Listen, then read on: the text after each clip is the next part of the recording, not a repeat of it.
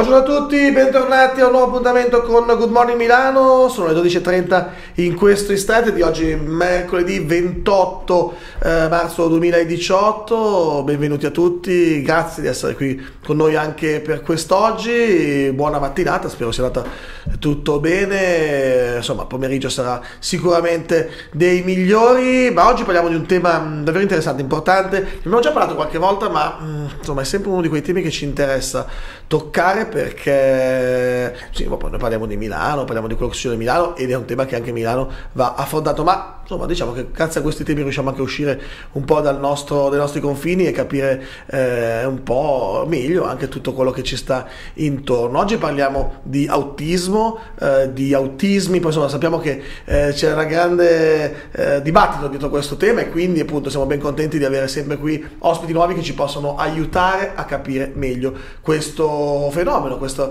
situazione e a capire come si può fare e che cosa si può fare per aiutare anche chi appunto eh, ha bisogno magari di una nostra mano per divulgare, per sapere meglio come muoversi in questo campo. Lo facciamo con due, due presidenti oggi qui in, in, studio. Benvenuta quindi a Cristina Finazzi, presidente di Spazio Blu, buongiorno e benvenuta. Buongiorno e Raffaella Turato, presidente dell'associazione Gaudio, giusto? Gaudio, sì. Gaudio, adesso giusto, perfetto.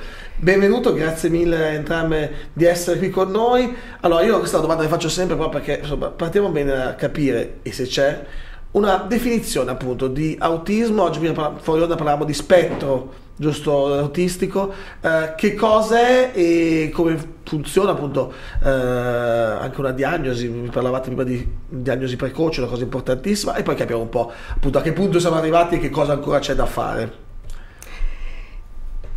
Vai, vado io. Vai, Bene, buongiorno a tutti. Eh, è un'occasione importante questa di trovarci qui a Milano All News perché ci dà anche la possibilità di ricordare che il 2 aprile prossimo sarà la giornata mondiale della consapevolezza dell'autismo e quindi questa possibilità di creare cultura e togliere tutto quello che sono le non conoscenze di, questa, eh, di questo disturbo.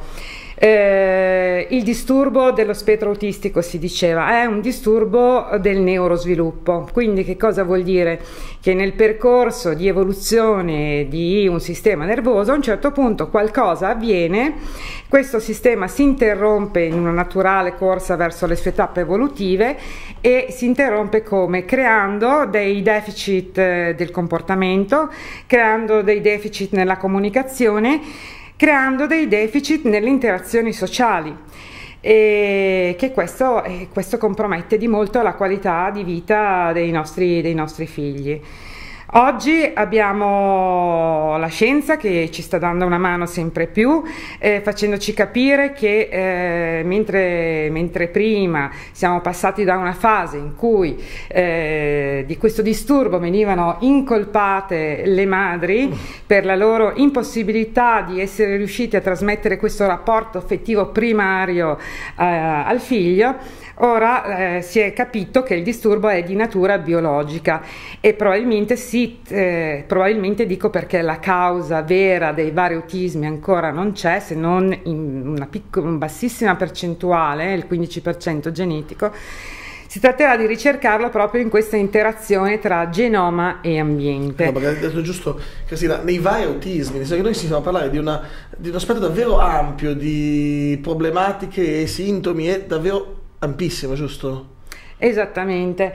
Eh, Raffaella, se vuoi dire tu di in, quanti, in quante modalità conosciamo il funzionamento dei nostri ragazzi? Sì, in effetti, buongiorno a tutti, in effetti quando si parla di autismo si parla di uno spettro veramente ampio di eh, funzionamenti, quelli che noi definiamo, okay. diciamo, delle persone, ogni persona ha il suo funzionamento, ma soprattutto nelle persone che hanno un disturbo nello spettro autistico, si notano moltissime differenze, di, differenze che si notano nel comportamento, nella capacità di comunicazione, nella capacità di comprensione ehm, dei fenomeni e della realtà e nella capacità anche di acquisire delle capacità, delle abilità di tipo intellettivo o di altro tipo.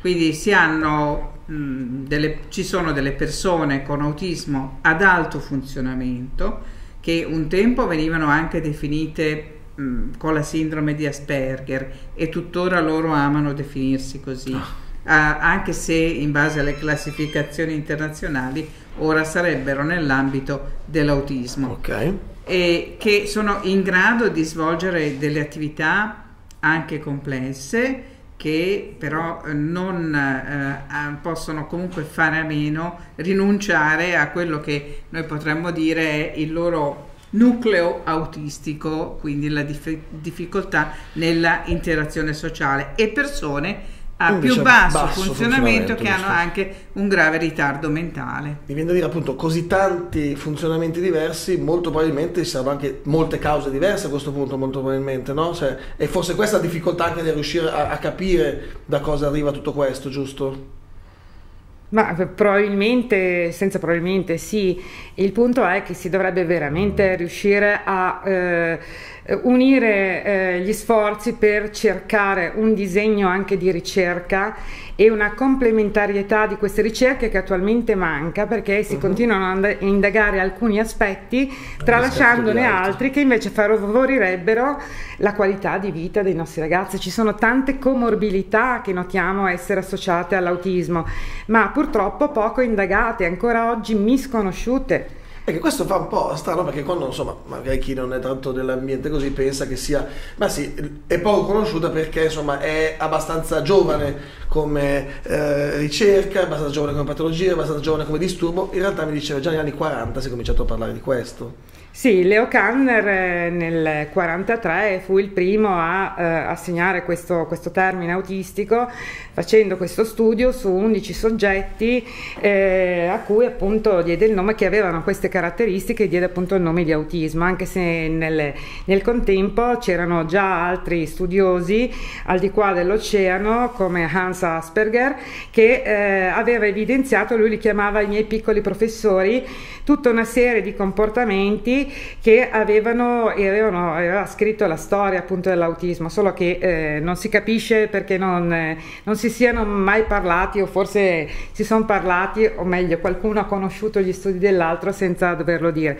Comunque insomma dagli anni 40 ad oggi quello che ci interessa è che tanto si, si, è fatto per l'autismo, per l'autismo soprattutto all'estero, uh-huh. e abbiamo anche grandi competenze, grandi, una quantità immensa di dati che dimostrano che interventi precoci e intensivi, fatti chiaramente su un riconoscimento mh, mm, molto veloce di, questa, di questo disturbo, possono migliorare di molto la qualità di vita dei nostri ragazzi. Ecco, Diceva questo appunto, è il punto. La diagnosi, la velocità di diagnosi, la diagnosi precoce è fondamentale in questo, cioè prima me ne accorgo, prima posso dare una buona qualità di vita al, al, mio, al, mio, al mio, figlio, a mia figlia.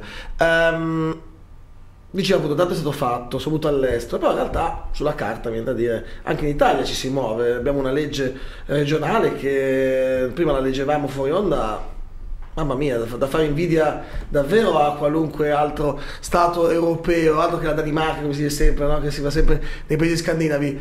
Però poi è rimasta lì? Però poi, diciamo, in Italia accade spesso che si scrivono delle belle leggi e non si davvero, attuano. Davvero molto belle, effettivamente. Cioè, sì, da... delle belle leggi ma non si attuano. C'è la legge nazionale sull'autismo, ci sono le linee guida che risalgono al 2011 dell'Istituto Superiore di Sanità e del Ministero della Salute che indicano come si dovrebbe fare la diagnosi, quali dovrebbero essere i trattamenti efficaci per l'autismo sulla base diciamo, eh, di una meta-analisi della letteratura scientifica internazionale, quindi è una cosa seria. E mh, mm, ci sono delle disposizioni anche in termini di ehm, eh, delibere eh, per quanto riguarda la conferenza Stato-Regioni per, la, per, i servizi per l'autismo, tuttavia nelle varie regioni italiane e in Lombardia, pur essendo state scritte delle leggi anche avanzatissime, queste leggi non si attuano. La motivazione per cui non si attuano... Ecco, perché poi ovviamente la domanda ecco, sorge spontanea, come dicevano eh, la, solitamente, solitamente dunque, una buona legge per essere definita tale dovrebbe avere un fondo, un finanziamento, dovrebbe avere i fondi per essere attuata e in più deve prevedere un'organizzazione dei servizi adeguata. Queste sono le due eh, principali motivazioni uh-huh. per cui eh, non, viene, uh, non, viene, non, vengono applicate le leggi. La terza motivazione è la mancanza di sanzioni se la legge non si applica, uh-huh. perché se io in tangenziale vado a 120 all'ora invece che a 90, la multa me la prendo. La multa me la prendo. Qualunque istituzione che non applica una legge non viene sanzionata a prescindere che sia la, la regione, la, la, la provincia eh, oppure la ATS eh, di competenza. Hai capito? Una legge, una legge bella, eh, applicata però, mi diceva che in realtà poi quando anche comunque riusciamo magari a fare ad esempio la diagnosi precoce, ci scontriamo con altri grossi problemi, che sono ad esempio poi il come fare i percorsi dopo liste d'attesa infinite ad esempio. Qui c'è il problema dell'organizzazione dei servizi, c'è il problema della formazione degli operatori dei servizi. Cioè, ecco, verrebbe a dire, ma i servizi, i servizi, il servizio sanitario lombardo, in questo caso noi siamo qua, è pronto a una cosa del genere? Cioè, eh, sanno cosa, cosa stanno andando contro, sanno come fare? O sembra che invece non abbiano gli strumenti proprio? Ma da una parte ci scontriamo, come le dicevo, da, sotto l'aspetto culturale. Uh-huh. Qui manca, visto che per anni eh, siamo stati alla mercé di, di, di questa eh, analisi psicoanalitica del problema, quasi che eh, fosse un qualcosa che riguardasse solo la relazione madre-bambino e la formazione anche di questi medici, neuropsichiatri, si è proprio basata su queste eh, conoscenze errate. E, il punto è che adesso eh, eh, non, non, ci sono stati nel frattempo aggiornamenti, eh, spinte per, per aggiornarsi e quindi ancora ci sentiamo prescrivere Dopo lunghe attese per avere una diagnosi, perché anche questa non è semplice ottenere una diagnosi, sia, ripeto, per questa mh, visione parziale del problema, eh, errata peraltro, non parziale, ma anche per poi la, una mancanza di organizzazione dei servizi della presa in carico. Gli unici servizi pubblici, dopo mesi, forse anche anni di attesa, sono la prescrizione di percorsi di psicomotricità e logopedia, dimostrati che non, non servire ai soggetti autistici. Quindi, eh, cosa fare? Co- cosa può fare allora una famiglia lombarda? Che, o milanese che appunto ha magari il sentore di un comportamento un po' a funzionamento eh, diverso, diciamo, dice c'è qualcosa che non va, capisco che c'è qualcosa forse, mi piacerebbe sapere, capire meglio se, come può fare a questo punto? Dunque, noi come associazioni riceviamo tutti i giorni telefonate di genitori di bambini piccoli che eh, diciamo fino ai sei anni che hanno avuto la diagnosi e eh, hanno problemi a trovare dei centri pubblici eh, de, in cui poter fare dei trattamenti, perfino quelli di cui stava parlando lei, ah. logopedia e psicomotricità, perché ci sono anche in alcune ATS eh, tre anni di attesa per entrare in questo circuito. Quindi le famiglie in realtà si rivolgono a dei centri privati che, eh, che hanno la capacità diciamo, di rispondere a queste esigenze più o meno bene. Noi consigliamo, solitamente quelli che mh, mm, ci danno la maggiore garanzia di serietà e di ehm, buon funzionamento, ecco, diciamo, per parlare in termini autistici, ma ehm, eh, ovviamente questi, cost, questi mh, mm, trattamenti eh, svolti da centri privati costano e sono costi completamente a carico delle famiglie ci sono famiglie che spendono tra i 1000 e i 1500 euro al mese per eh, i trattamenti eh, educativi comportamentali, tipo cognitivo comportamentale, educativi per i loro figli. Dico una cosa magari un po', però mi viene a dire che allora è anche una, una, cioè un problema anche proprio sociale, nel senso che rischio che le fasce più basse mai sapranno neanche di avere questo problema in casa, mi viene da dire, cioè, e magari rischiano di mettere in un angolo un bambino che potrebbe invece, magari grazie a degli aiuti, avere una vita di una qualità comunque superiore. Questo è quello che purtroppo avviene. Eh, manca, come le dicevo, una rete tra la pediatria e una conoscenza, perché poi eh, i pediatri sanno fare molto bene il loro lavoro, ma in questo ambito ma, mancano le conoscenze che possa eh, vedere quali sono le prime avvisaglie, i primi sentori, anche in un bilancio di crescita esistono del, mm, un semplice questionario che viene chiamato MChat, che abbiamo anche sui nostri siti, sono semplici domande da rivolgere ai genitori attraverso cui si può immediatamente vedere se sono presenti i segni eh, di questo possibile disturbo. A questo punto il pediatra invia al neuropsichiatra dell'unità di riferimento locale il bambino per essere valutato per, per, una diagnosi. Ecco, qui si apre il primo grosso problema, mesi e mesi di attesa per avere anche solo la visita. Prima, poi seguono i test, poi dopo i test si arriva alla diagnosi e intanto magari è passato un anno e mezzo, due, dal bambino di 15-20 mesi arriviamo sui tre anni e mezzo, quando le linee guida raccomandano la presa in carico del bambino a 24 mesi. Cioè. E quindi che cosa succede? Ulteriore tsunami perché non sai a chi rivolgerti, che cosa fare. Oddio, dobbiamo anche dire che ci sono realtà che, eh, locali che funzionano anche, dove ci sono strutture private che nel corso degli anni hanno saputo mettere a frutto quelle misure che Regione Lombardia ha messo in campo per l'autismo. Eh, la legge la 392 eh, piuttosto che il case management. Ci sono realtà che anche forniscono eh, piccoli squarci di eh, possibilità, ma questi non bastano. Essendo l'autismo un problema complesso, deve riguardare tutta l'esistenza uh-huh. di, questo, di questo soggetto e quindi non bastano queste cose a spot, bisogna veramente pensare a una riorganizzazione generale del, del sistema dei servizi che possa dare risposte, perché poi la grossa, la grossa spada di Damocle che eh, abbiamo anche sulla testa è quando questi soggetti arrivano a 18 anni e all'improvviso spariscono, spariscono dalle traiettorie del sistema sanitario. Ah.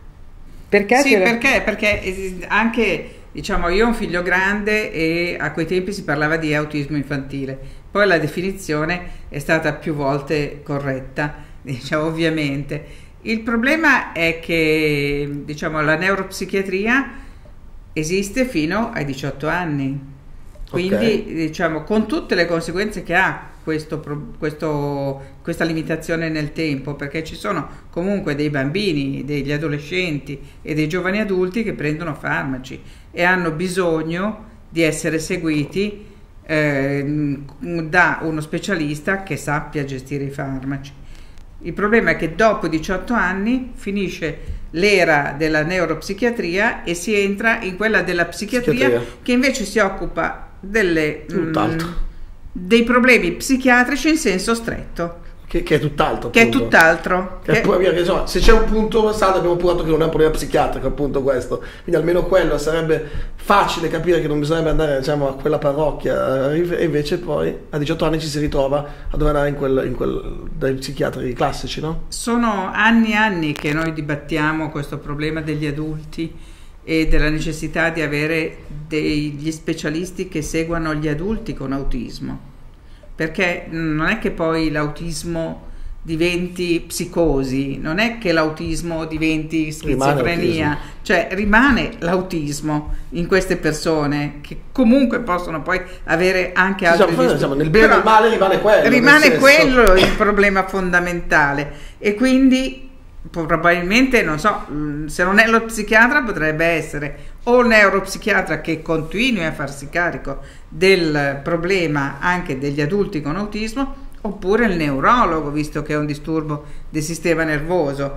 Però attualmente non esistono queste possibilità, quindi il ragazzo di 18 anni esce dalla, dalla sfera della cura di uno specialista della sanità e non ha eh, la possibilità, cioè la famiglia non capisce più a chi deve rivolgersi. Mi viene a dire che in questo quadro diventa sempre più importante e fondamentale rivolgersi ad associazioni come la vostra, però a questo punto, perché insomma molto probabilmente siete l'unico modo per aiutare queste famiglie che si ritrovano da un giorno con l'altro con questa notizia e a dover capire dove, cosa fare. Il punto è che eh, se ci siamo mossi, cioè se esiste un diritto da parte dei nostri figli, esiste un dovere da parte di qualcun altro. Questo dovere ce lo sentiamo e ce lo, eh, lo, lo, accogliamo tutti i giorni, riunendoci anche nelle associazioni, cercando di trovare quali che sono le possibili soluzioni, ma sono sempre soluzioni parziali perché sono tutte sulle nostre spalle, in particolar modo sulle spalle delle madri che devono abbandonare l'attività lavorativa, che devono diventare a loro volta case manager per riuscire a gestire in tutte queste situazioni, perché poi non abbiamo toccato un altro punto fondamentale, perché se è vero che le, queste terapie, questi percorsi educativi, chiamiamoli così, uh-huh. usciamo dall'ambito della terapia e della cura, sono percorsi educativi, riguardano tutto il contesto e tutte le agenzie educative, quindi l'importanza della scuola di qualsiasi ordine e grado. Quanto la scuola è impreparata a tutto ciò? Faccio una domanda brutale, faccio. Secondo me la scuola eh, eh mancano degli strumenti, però okay. abbiamo tantissimi operatori ah. attenti e eh, soprattutto che vogliono riuscire ad avere questi strumenti per, per, svolgere la propria specificità, il proprio lavoro al massimo. Io non ho mai incontrato eh, in questi anni difficili un operatore, un insegnante, un educatore che si eh, tirasse indietro rispetto a questo, anzi chiedeva, chiedeva gli strumenti. Ecco perché serve un coordinamento, se servono percorsi educativi coordinati in progetti di vita che siano condivisi innanzitutto con la famiglia che si rimette in moto perché rispetto a un figlio che non risponde, che non fa quello che gli chiedi, che ha questi comportamenti bizzarri, che a volte sfociano in comportamenti problematici, cioè ha bisogno di essere supportata e ha bisogno di riattivare quelle che sono le sue potenzialità che sono lì sopite. La scuola, i contesti anche aggregativi normali, pensiamo agli oratori, allo sport, al tempo libero. In tutto questo ci deve essere però un pensiero coordinato che conduca, che accompagni questo ragazzo insieme alla sua famiglia, insieme ai fratelli in, nella sua vita che se non avrà eh, comunque una traiettoria come quella degli altri sarà comunque degna di essere vissuta. È questo che noi chiediamo dignità. Appunto, mi viene a dire appunto che è un dovere che diceva ci prendiamo, ce lo prendiamo, non c'è problema ma che forse questo dovere dovrebbe essere in capo a qualcun altro mi avrebbe da dire. È giusto, è giusto, che chi, che, che chi ha un problema cerchi di eh, organizzarsi per trovare delle soluzioni e noi diciamo con il Comitato Uniti per l'Autismo abbiamo aggregato 40 associazioni ecco, lombarde. 40 associazioni lombarde eh, riunite in uh, Uniti per l'autismo che appunto poi il 2 aprile poi vi ritroverete avete una giornata di ci incontro, sono tante no? iniziative perché il 2 aprile poi è Pasquetta ed è coincide con una festività importante però ci sono molte iniziative sia questa settimana okay. che per tutto il mese di aprile a cui eh, noi diamo grande visibilità sulla nostra pagina Facebook e che, a cui cercheremo di partecipare sempre uniti, sempre insieme per l'autismo. Ecco, diciamo, quello che noi vogliamo rappresentare finalmente è anche l'unità delle famiglie, delle migliaia delle fam- di famiglie coinvolte, l'unità delle 40 associazioni, superando la frammentazione, superando anche la divisione territoriale. Perché è giusto che esista un'associazione per territorio, se vogliamo, sì, sì, sì. perché esistono problemi territoriali differenti e realtà territoriali che richiedono soluzioni diverse. Però eh, noi, diciamo, nei confronti di, Re- di Regione Lombardia abbiamo deciso di costituire un fronte veramente unito e omogeneo. Quali sono quei miti intorno all'autismo che più vi danno fastidio, che bisognerebbe smontare, che però rimangono ancora e non si riesce a smontare? Dai, cerchiamo di abbattere qualcuno. Quanto tempo abbiamo? Ma più che parlare di miti, di falsità, poi eh, noi vorremmo parlare di cose concrete che mm. si possono fare.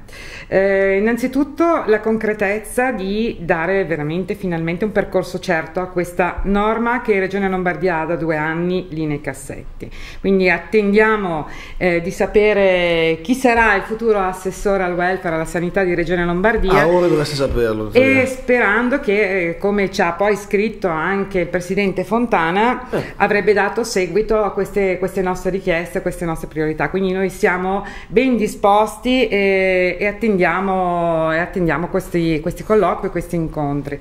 Dall'altra parte eh, cerchiamo di mettere a fuoco quelli che sono i passaggi cruciali del, delle nostre problematiche quotidiane. Quindi avere eh, veramente eh, essere eh, seguiti da eh, personale medico competente che magari si organizzi anche nelle equip multidisciplinari che tanto sono anche sancite sulla quella famosa legge, legge 15 del 2016.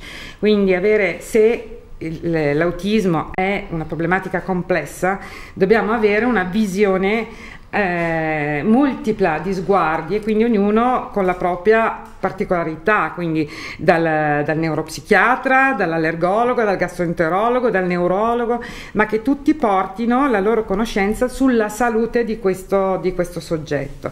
E poi che, questi, che tutte queste figure si parlino, perché spesso okay. un altro problema dei servizi sono la non comunicazione e allora la domanda che ci facciamo spesso, ma di chi è l'autismo? È dei nostri figli o dei servizi che non si parlano? Perché anche qui... Una domanda.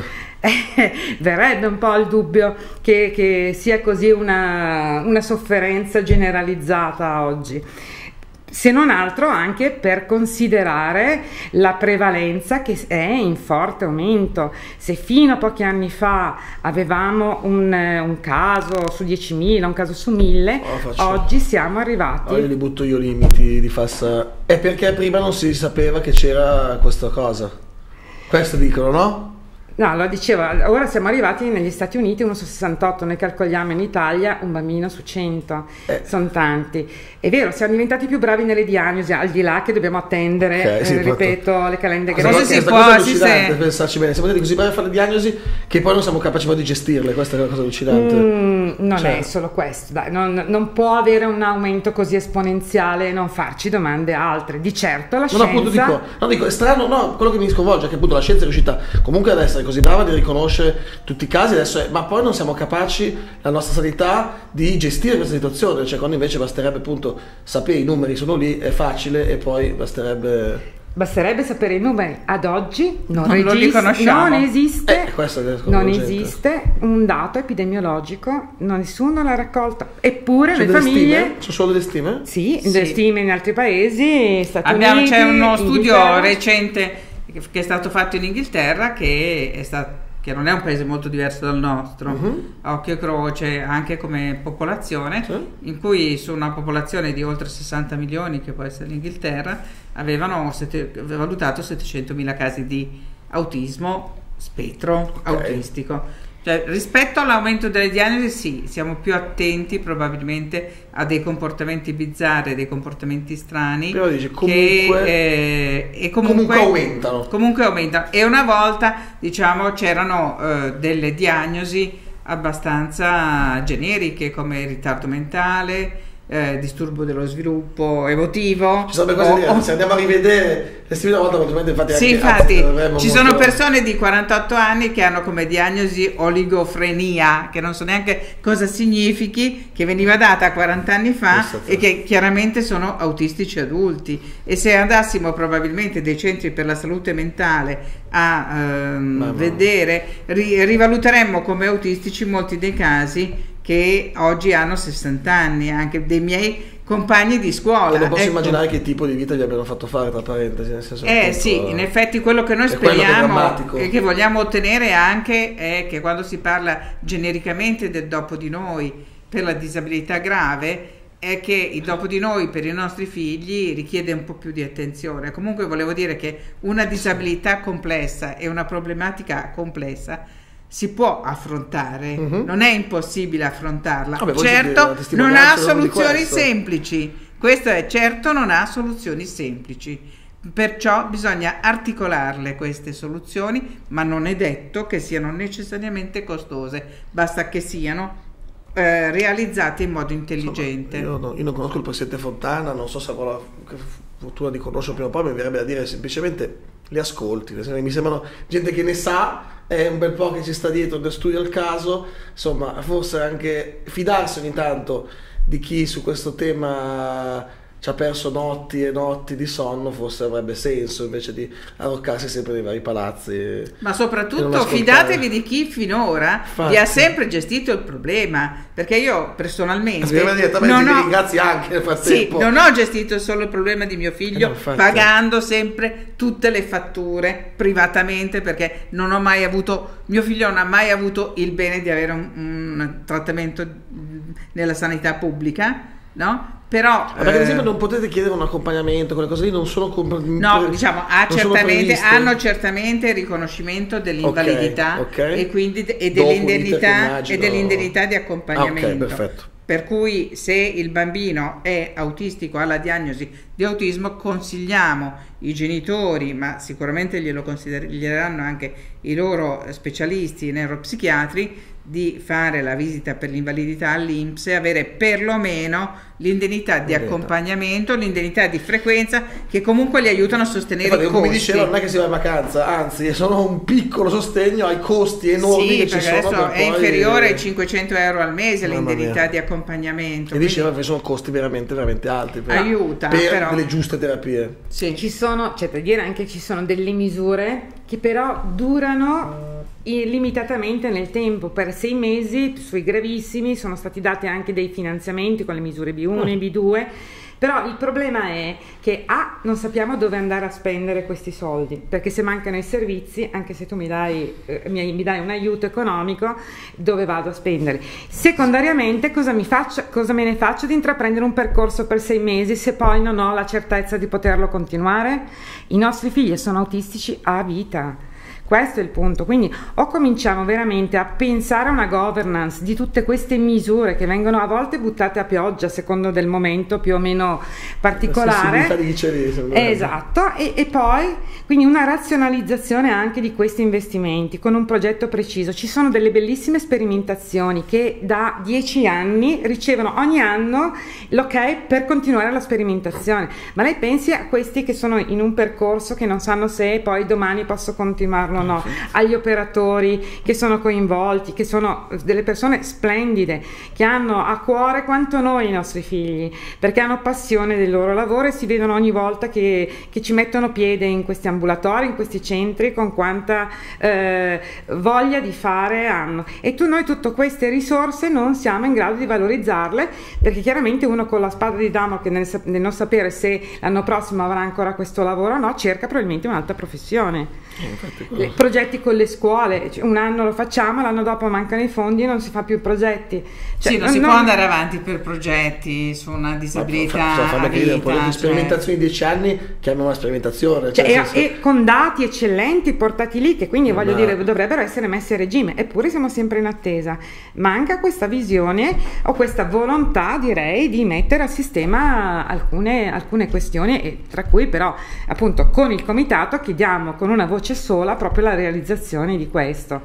Peraltro abbiamo anche mh, lanciato una petizione su sì. change.org che sta avendo un buon successo, siamo a 13.700 firme. Oh proprio per, per chiedere eh, Uniti per l'autismo, change.org, trovate questa petizione per chiedere l'attuazione in un percorso certo di questa legge.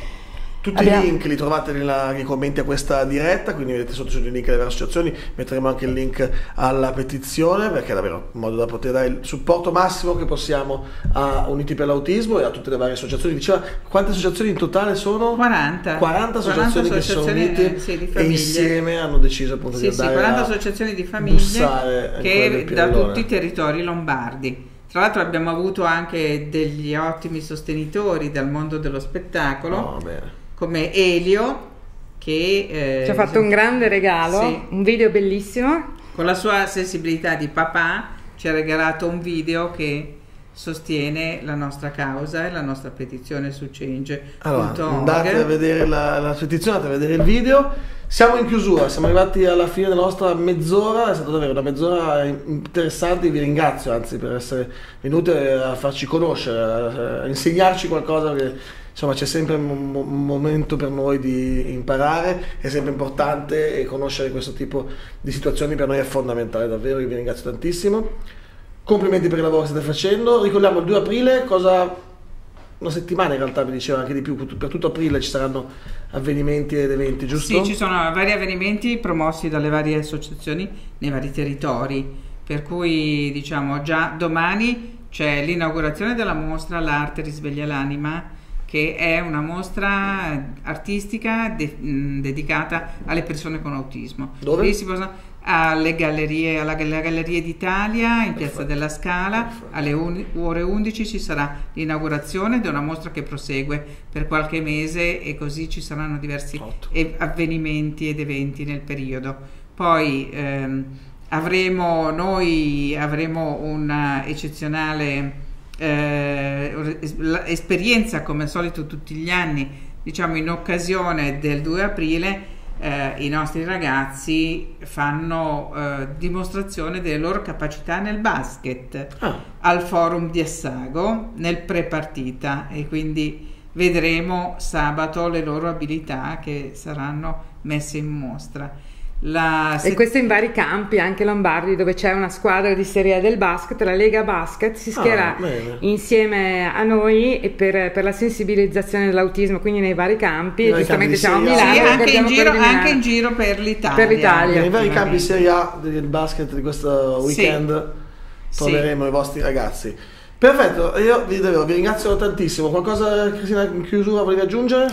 No, dobbiamo ringraziare anche J-Ax che cortesemente ha ritwittato ah. il video sulla sua pagina uh, Twitter uh, di, di, Elio e quindi noi accogliamo tutti, anzi chi volesse sostenerci è ben gradito e vi invitiamo soprattutto a livello personale a sostenerci tramite la firma di questa petizione. Perfetto, e guardate la nostra pagina Facebook dove ci sono tutti gli eventi per l'autismo del mese di aprile. Perfetto, allora vi hanno spiegato tutto, vi dico anche andate a firmare la petizione, trovate il link qui sotto nella diretta, grazie mille davvero di essere qui. Grazie, grazie a voi, buona giornata e, e, spero di rivedersi presto comunque con tante notizie, con magari sapere che insomma la regione... Vi aggiorneremo, eh, vi terremo sapere, aggiornati. Questa legge che vi ha detto prima veramente mi ha stupito, ero fiero di essere lombardo, poi mi dice ma rimane solo lì.